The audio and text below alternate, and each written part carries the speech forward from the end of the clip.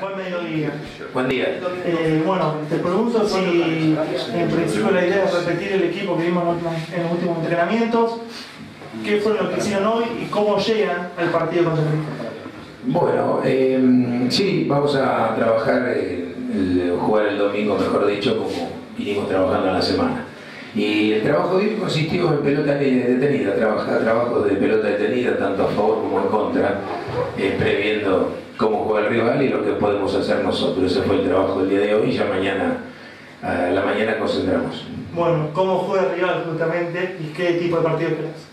Y lo que pasa es que jugó diferente con Boca, jugó diferente con Argentino Junior, diferente con Independiente, con diferente a veces dibujo táctico y también diferente los componentes, los jugadores. Entonces, eh, tenemos una idea, pero lo importante, siempre le voy a reiterar lo mismo, somos nosotros, es como qué partido vamos a jugar nosotros y, bueno, y desvirtuar sus, las virtudes de Chacarita. Chocho, estamos en vivo para 12-14. ¿Qué se le dice a un joven que, que, va a tener su primer partido en primera? Creo que nunca habían concentrado a Ferroni y que ya va a estar en el equipo titular eh, nosotros les brindamos todo el apoyo a los chicos, ellos lo saben desde el primer día. Eh, todos los chicos que están trabajando con nosotros le, le generamos el microclima como para que puedan desarrollarse cuando le toca. Es decir, eh, eso es lo como primordial, darle confianza, que juegue, si va a jugar es porque obviamente eh, tiene condiciones para hacerlo. Eh, no concentró porque siempre llevaba un solo volante, un solo defensor y me cubría varios, con un movimiento me cubría toda la defensa, entonces por ese motivo no concentraba y él lo sabía. Chocho, ¿qué buscas con el cambio de Luis Leal por Mauro Cristian? En ofensiva, teniendo en cuenta que el equipo va a ser local, va a estar su gente, se va a hacer una propuesta diferente a las que fueron eh, contra Vélez y con los, otros eh, partidos que tuvo el equipo de visitante. Bueno, lo, que buscamos es, eh, primero, con las características de los, de los compañeros, es tener una buena organización de fútbol y, Luis nos da mucha movilidad por todo el frente de ataque, entonces le va, le va a dar opciones a la, a la, organización que pueda realizar Brian, Víctor, Joaquín, Brian Rivero también, entonces eh, es decir, tratar de, atacar el bloque, ¿no es cierto? Eso es lo que buscamos, después bueno, vamos a ver si lo podemos lograr. Eh, Chocho, acá. Bueno, ayer relativizabas un poco cuando charlamos en la radio el horario del partido. Eh, ¿Jugaste alguna vez a la mañana? Ahora es como que a las 11, bueno, tendrá el calor y ya no se podrá jugar porque terminaría cerca de la 1 de la tarde, pero ¿cómo se prepara el jugador eh, y cómo cambia la rutina para un juego donde hay que hacer la entrada en calor a las 9 y media? Sí, bueno, yo jugué, no sé, a las 2 de la tarde sí, pero eh, yo jugué como jugador, sí, jugué a las 11 de la mañana, a las 2 de la tarde también jugamos, pero como entrenador. Eh, después 11 de la mañana creo que nunca. Eh, no, lo único que te manifestaba ayer es decir, nosotros estamos acostumbrados, estamos entrenando siempre en este horario.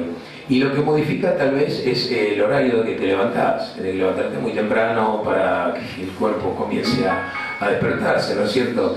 Y bueno, esperemos, esperemos estar es decir, estar, estar convencido de lo que más allá del horario, es decir, de hacer un buen partido. Yo no creo que sea, si vos te, te involucrás emocionalmente con el partido, el compromiso, lo tenés full, yo creo que el horario de partido no, no tiene que ser un tema importante el profe de la planificación, ¿qué dice? ¿Le, cambian algo a él? ¿Tiene, bueno, desde la ciencia? No lo sé, no lo hablamos particularmente, eso no, lo relativizamos el, el, horario partido, esa es la realidad.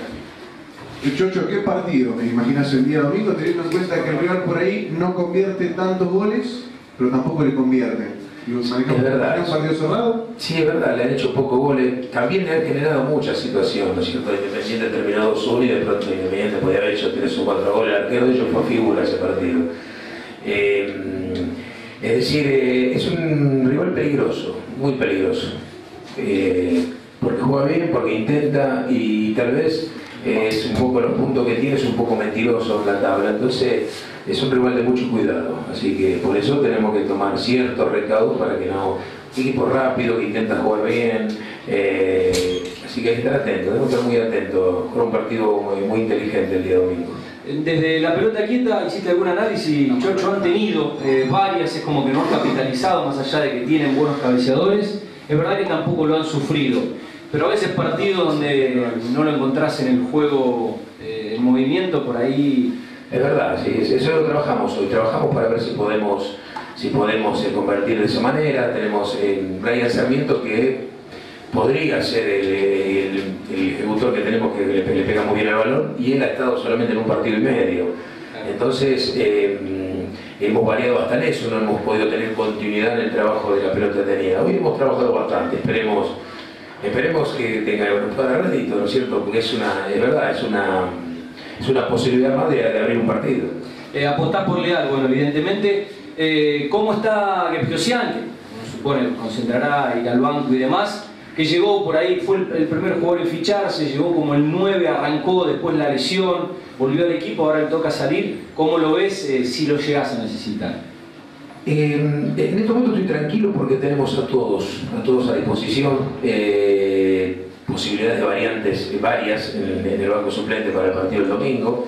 Mauro está bien, está bien y, me da posibilidades de, de, pronto, de, acuerdo al desarrollo del partido, buscar opciones de distintas formas, teniendo la oferta, a él, a, Cabrera, es decir, tenemos varias, eh, varias opciones como para poder elegir y, a veces modificar el, el transcurso del partido. Juan, más allá de rival como marcaste, eh, cuidado, ¿te parece el día domingo el único resultado valorable la victoria o, o considera otra?